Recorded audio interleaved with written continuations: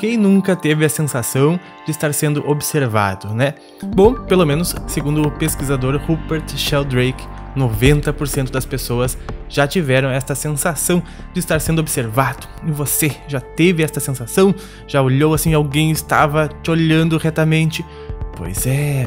E de repente você olha para a pessoa, a pessoa olha para ti. Isso acontece? Isso é comum acontecer contigo? Bom, eu acredito que seja, mas se isso não aconteceu, por favor, me diga nos comentários, certo? Porque então você é um caso à parte. Por que isso, pessoal? Porque eu quis trazer aqui, eu estava lendo, acompanhando os comentários que vocês fazem ao longo dos vídeos do canal e encontrei comentários, perguntas sobre a mente una e a sensação de estarmos sendo observados. Na verdade, eu estou sendo observado por vocês agora e tenho a sensação de estar sendo observado. É, porque, segundo Rupert Sheldrake, isto não necessariamente quer dizer que nós estamos sendo vistos com olho a olho nu. Não, isso pode acontecer, segundo ele, através de câmeras, sistemas fechados de vídeo, a pessoa sentir a sensação de estar sendo observada. O que eu estou propondo é um outro tipo de campo, chamado de campo mórfico, que organiza os corpos dos animais e plantas e organiza as atividades também nos cérebros e nas mentes. Rupert acredita que os campos mórficos são o que permitem os pássaros voarem em formação perfeita, o que ajuda na migração também em massa de rebanhos de animais. Ele acredita também que eles são o motivo pelo qual temos aquela sensação desagradável de que alguém nos observa. Ele tem até mesmo conduzido uma série de experimentos para tentar provar que este sentido é real. Ou você olha ou não olha em uma sequência aleatória de testes para uma outra pessoa. E eles têm que adivinhar em qual teste estão olhando ou não sendo olhadas. O observador deve concentrar a sua mente na pessoa a qual está olhando. E quando faço isso, eu costumo pensar no nome da pessoa. Looking. Digo, eu me concentro com toda a minha atenção nisso. Quando eu não estou olhando para elas, eu olho para o chão ou fecho meus olhos. E eu penso em alguma coisa completamente diferente. Not looking. Brilhante. Brilliant. 14 estão certas e 6 erradas. Algo está acontecendo. E, embora o feito não seja tão expressivo, é consistente e se repete ao longo de grande quantidade de testes. Rupert tem obtido o acervo de evidências que mostram que as pessoas realmente parecem saber quando estão sendo observadas. Para ele, isso confirma a ideia de que nossos corpos estão rodeados de campos mórficos uma extensão invisível de nossas células. O que eu estou propondo é que nossa mente funciona por campos estendidos, que se alongam para muito além de nossas cabeças, até o mundo e nos conectam com outras pessoas e a nosso ambiente. É, olha que incrível que é, porque quando foram fazer as pesquisas dessa área, perceberam que há alteração na nossa eletricidade da pele, na, na nossa eletricidade cutânea, há alterações de eletricidade quando nós estamos com a sensação de estarmos sendo observados ou quando nós estamos sendo observados. Esta é a questão, porque a pessoa, quando estava sob o experimento, ela estava sendo observada. Então ela tinha a sensação de estar sendo observada. Não tem como tu observar a pessoa e ver se ela vai ter a sensação quando está sendo observada ou não. Mas nós podemos ir para esta parte que eu queria trazer hoje, que é a mente interconectada, a mente holográfica, a mente do Uno né? Que é aquilo que diz que as nossas mentes são interconectadas, que existe um campo onde as nossas mentes comungam. Mas não é como se pensa que as mentes elas são totalmente ligadas e totalmente conectadas, né? Que nós comungamos a mesma mente. Isso é uma bênção não ser assim, porque senão nós estaríamos ouvindo o pensamento de 8 bilhões de pessoas, né? E seria uma confusão, né? Às vezes acho que a gente não dá conta nem dos nossos próprios pensamentos, imagina se fossem muitos, né? Então é uma benção as mentes não serem conectadas a este nível, mas em algum nível as mentes são sim conectadas, têm uma conexão, elas se comunicam e não é com palavras e nem sequer é, a distância é um problema para isso, né? Como o caso das mães que sabem que o filho está em perigo e tem uma intuição, né? Tem uma sensação, e isso acontece com o filho dela, não com todos os filhos do mundo, senão essa sensação nunca pararia também. né? Então há uma inteligência nessa mente. As mentes são conectadas de acordo com um nível emocional, de acordo com um relacionamento emocional, de acordo com um relacionamento de afinidade. As mentes se comunicam, se sintonizam mais, né? Mas olha que coisa interessante que eu trouxe para nós aqui hoje, pessoal. Né, que isso também tem a ver com um instinto, se é que pode ser assim dizer, de sobrevivência, porque é, o Rupert trouxe é, entrevistados de guerra que esses soldados, muitos relataram ter se salvados por terem a sensação de estarem sendo observados, então procurarem o alvo e darem de cara no alvo que estava fazendo ameaça para eles no momento. Então eles conseguirem se abaixar, se protegerem e que isso era muito comum acontecer. E se a gente for pensar, se a gente for remontar ao nosso passado, né, a gente vai ver que nós vivíamos com um contato muito maior com a natureza.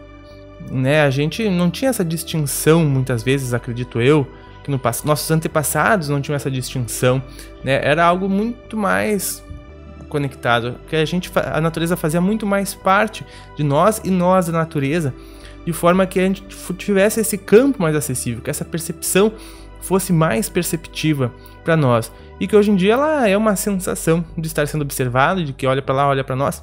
Hoje é muito mais provável que as crianças assistam, por exemplo, ao Animal Planet ao invés de ir para a natureza, né, para ter um contato real com o mundo silvestre. Então imagina, né, isso contra a experiência dos nossos ancestrais, que viviam em contato íntimo com a natureza, né, e as criaturas em todos os momentos. Eles tinham certeza de que a consciência era compartilhada com todas as criaturas, né, grandes e pequenas. Era uma consciência real, né, que não continha limitações espaciais nem temporais. A mente una, da qual participavam todas as coisas vivas.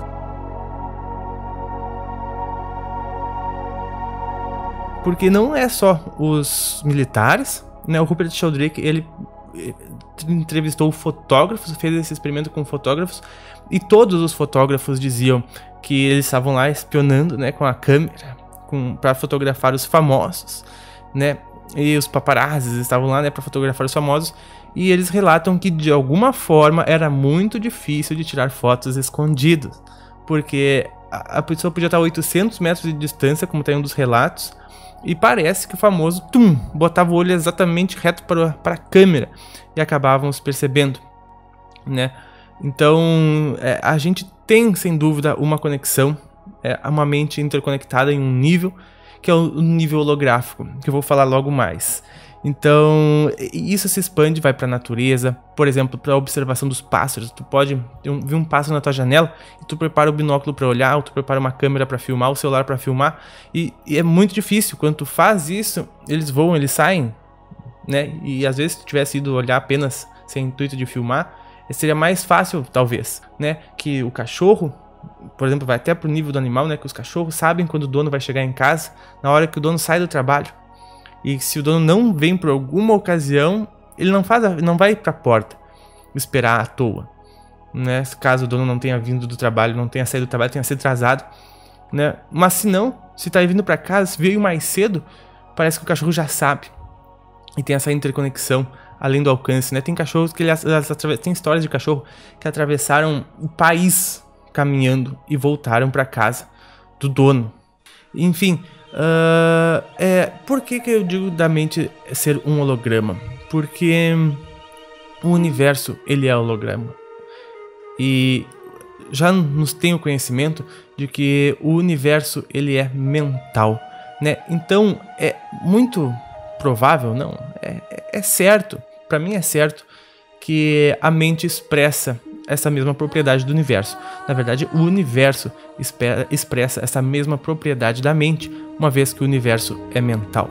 Então, da mesma forma como nós vemos no universo fractais, da mesma forma como nós vemos no universo o holograma, porque já é mostrado através da ciência que o universo é holográfico, por quê? Porque cada parte contém o todo, cada parte contém a informação de todo o universo a informação de todas as outras partículas do universo, ou por exemplo, de como o universo se reconstruir inteiro está dentro de cada um dos pontos, esta informação, essa energia, né, como já foi resultado de uma palestra que eu vou deixar aqui, a grande conexão, onde eu explico muito bem isso, tal como no curso expansivo, certo? Cada parte contém o todo e a informação do todo. E isso é uma propriedade, é uma expressão da mente. Né? Então a mente é assim. Cada mente contém o todo e a expressão do todo, certo? Então, quando a gente pensa, agora eu vou falar da minha experiência e dos meus estudos quanto a mentes conectadas, quanto a mente conectada, quanto a conexão de mentes, quanto a mente una, né? Que toda a mente tem toda a informação, né? O universo é o reflexo disto. Hermes Trismegisto diz, né, que o universo é mental. Então, quando nós falamos de mente, nós precisamos compreender que a mente ela está sim conectada a todas as outras, mas diferente do que a gente pensa, né, pessoal, que a gente pensa que a conexão está para o lado de fora. A conexão está poderia se dizer que para o lado de dentro. Mas talvez mais preciso é que não é nenhum dos lados que as mentes são conectadas. Ela, ela independe, como a gente vê, da distância e do tempo. Né? Mas as mentes estão conectadas por um campo que pode se dizer que, é, que contrai, que vai que é para o interior.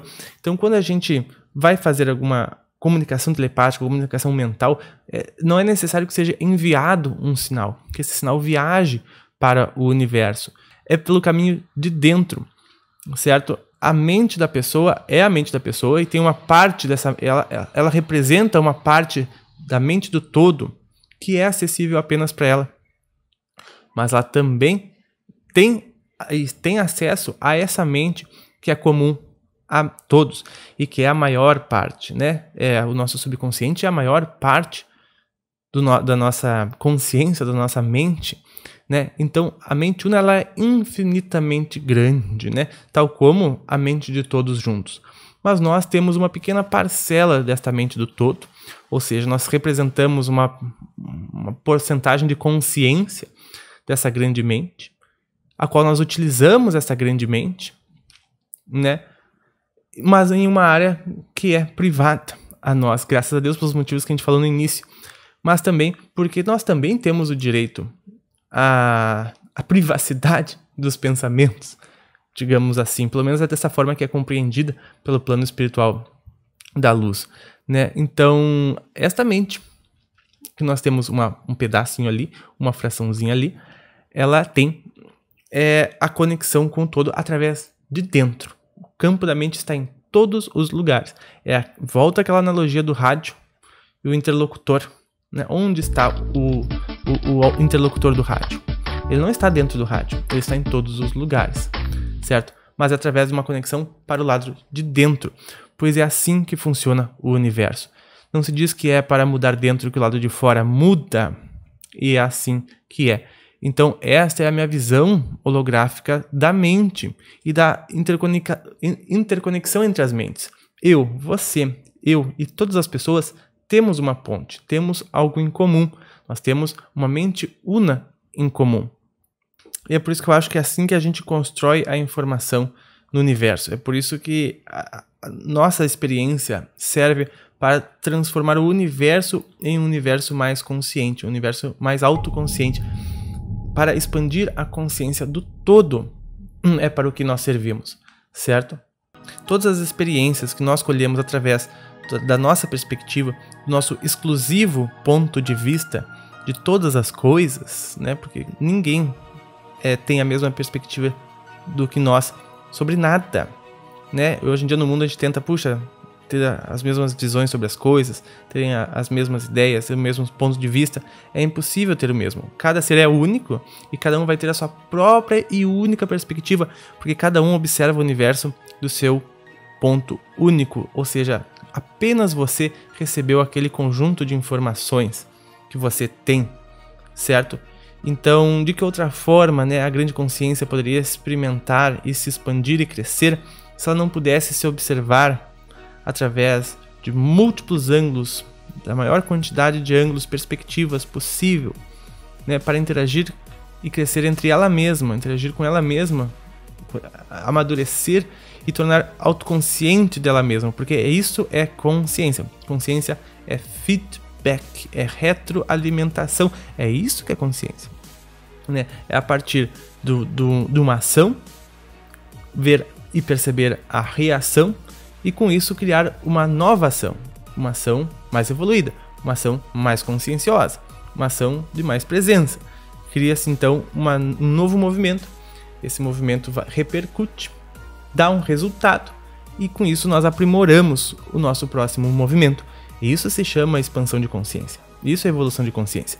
Então eu acredito que todos nós aqui na Terra, né, através da expansão da nossa consciência, expandimos a consciência do todo.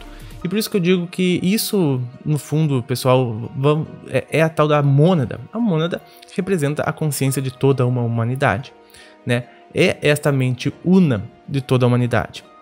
Quando aqui encarnados, quando com seres, que essa, essa, essa grande consciência, esse corpo mental, ele vai se fragmentando para encarnar primeiramente num corpo astral. Encarnar não, né? Entrar em um, corpo, em um veículo astral para experimentar uma dimensão polarizada, ou seja, onde ali podemos nos fragmentar, porque polarizar é dividir, é fragmentar. Né? Por isso aqui todo mundo material temos é, polaridades, homem, mulher, é, enfim, tudo que é neutro, branco, escuro, claro, é, frio, quente.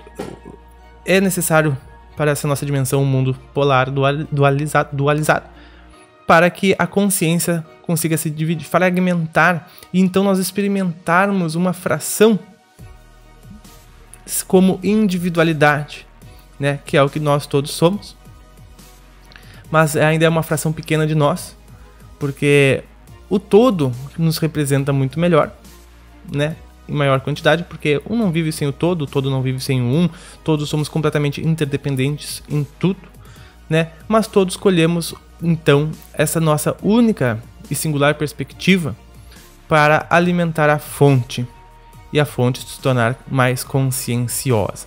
Então, para mim não é mistério nenhum que a gente comungue as mentes e que esse campo se comunique. E você perceba que a gente extrapolou bastante o assunto de olhar, do simples olhar que um para o outro gera. Mas é para mostrar como este campo de interconexão existe. O Rupert Sheldrake diz que essa capacidade de detectar o olho remoto de uma pessoa distante com express... é, é uma expressão de um sétimo sentido. E sugere que esse sétimo sentido também inclui a telepatia e as premonições. Mas por que sétimo, né?